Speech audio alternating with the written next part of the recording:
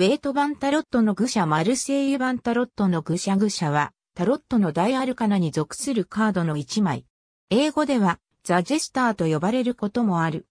カード番号は0であるが、この番号が与えられているのは、ウェイト版など、黄金の夜明け団系のデッキが多く、マルセイユ版などの伝統的なデッキでは、番号が書かれていないものが多い。また、トランプのジョーカーの原型がこのカードだとする説もある。ウェイト版タロットにおける次のカードは、1、魔術師。ヘブライ文字はアレフ。ただし、複数の遺説がある。黄金の夜明け団の説では、ケテルとコクマーのセフィラを結合する教に関連づけられる。以下のように色々な説が存在する。描かれているのは一人の旅人らしき男と一匹の犬である。この愚者は数を持たないカードであることや、愚者という単語から連想される象徴と、その意味合いや22枚の大アルカナの中で唯一移動している人物が描かれている絵札であることなどから、しばしば特別視されるカードであり、世界などと並んで、その解釈は仲介者ごとに千差万別である。マルセイユ版タロットに描かれている、愚者は派手な衣装と冠を身につけ、右手に杖を持ち、左手には先端に袋のようなものを取り付けた棒を右肩に担いだ人物が草の生い茂る荒野を歩いている姿が描かれている。また、人物の後方からは犬が追従しており、その前足を人物の右足付近に寄せている。マルセイユ版の愚者は、その抽象的な絵柄のため、見方によっては、後ろ歩きをしているようにも見える。これは、愚者の持つエネルギーが無意識的なものであり、一定の方向性を持たず自由気ままに放たれていることを表している。しかし、同時にそれ自体が目的であるとも解釈されており、このカードの二面性を示す要因として扱われている。愚者が移動している姿で描かれていることに関しては、1から21までの各カードを順を追って渡り歩く何らかの目的を持った旅人と解釈する説と、他の21枚の大アルカナをまたは他のカードを意識すらせず全くの自由気ままに歩き回る完全に無計画な放浪者と解釈する説の二通りの説が存在しており、これらの説は両立する形で様々な解釈に用いられている。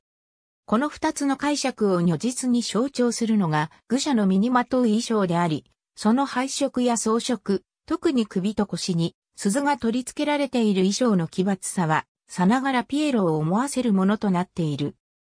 この配色は奇抜でありながらも、統一の取れた魔術師の衣装のように計画性の感じられるものではなく、鈴に関してはこの人物の輪廻転生の数であるなどと神秘的に解釈する場合を除けば特別な意味合いはない。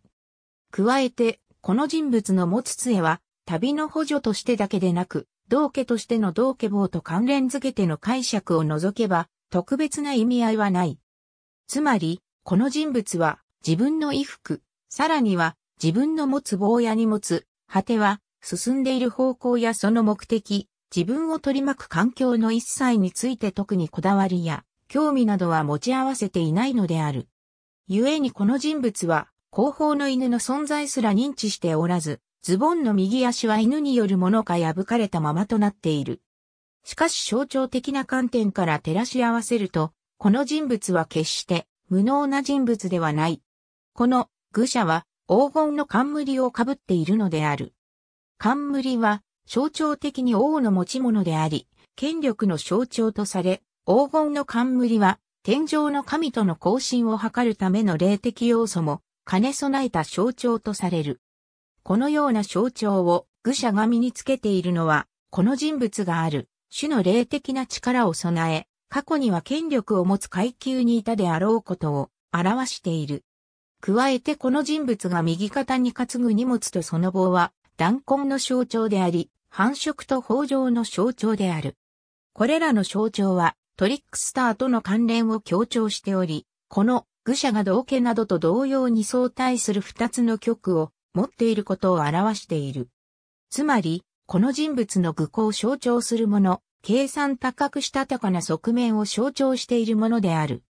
これらのことから、この人物は一切の計画性を持ち合わせていないが、全くの無計画というわけではないと、やや矛盾した結論がつけられる。ウェイト・バンタロットの絵に描かれている人物は若い、旅人で、若さは未熟さを表す。犬は旅人のパートナーで全身を意味する。しかしこの若者は左側を向いている。旅人は自分の目の前に崖が迫っていることにまだ気づいていない。ウェイト版の愚者は今まさに崖に向かって歩こうとしていることが明らかであるが、この先、崖から落ちるか、踏みとどまるか、それは旅人次第である。思想家、エリファス・レヴィによれば、審判と世界のカードの間にこの愚者を置いて特殊な切り札として相応に扱っており、エジプト人の死生観を導入させたとも考えられる。トリックテイキングにおける愚者の扱いには地域差がある。フランスのタロットゲームでは、愚者は L エクスキューズと呼ばれ、切り札とは別の特殊カードとして扱われる。愚者はマストフォロールールに従わず、いつでも出すことができる。愚者を大札として使うこともできる。いずれの場合も原則として愚者は最も弱くトリックに勝つことはできないが、愚者のカードはそのトリックに勝った側ではなく、そのカードを出した側のものになる。愚者のカードは切り札の1.21及び、キングと並ぶ、高得点のカードである。通常マンドリンを持った同消しの絵が描かれている。一方、オーストリアなど中央ヨーロッパでは、愚者は最強の22番目の切り札として扱われる。一例を挙げると、エリファス・レビの著書、高等魔術の教理と猜疑では、ヘブライ文字身が当てはめられ、カードの並び順では、審判と世界の間に置かれている。なお、黄金の夜明け団の説では、神は生命の木におけるほどとマルクトを結合する教に還元づけられ、審判が当てはめられている。他にも異説が存在する。サルバドール・ダリの説。ダリは、大アルカナと先生術の対応については、ホマローの説を踏襲したが一箇所だけ変更を加えた。黄金の夜明け団では、星座も惑星も対応させず、風の元素としていたが、ポール・ホスターケースはこれを改め、天皇星とした。ただし天皇星説は、ケースの独創とは言えない。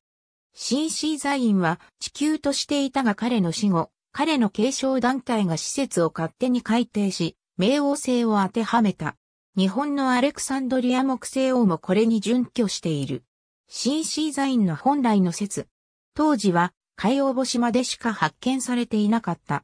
日本の唐島義雄は、冥王星を主とした上で、これに火星も加えた。冥王星説は、CC ザインの説をその弟子たちが改定したものと同説である。メアリー・ベック・ウィズ公演の説。もっとも、タロットカード自体が占いのみに特化した戦術的側面からの解釈にとどまらず、魔術などの隠秘学、神秘学的側面からの解釈、さらには心理学者のユングが研究対象として扱ったことから、心理学的側面からの解釈も行われていると、統一した解釈論が立てられているわけではなく、それに伴う形で、カード一枚一枚についての解釈も出したように行われている。また、愚者イコール族に侵されていないものから、聖者との解釈もある。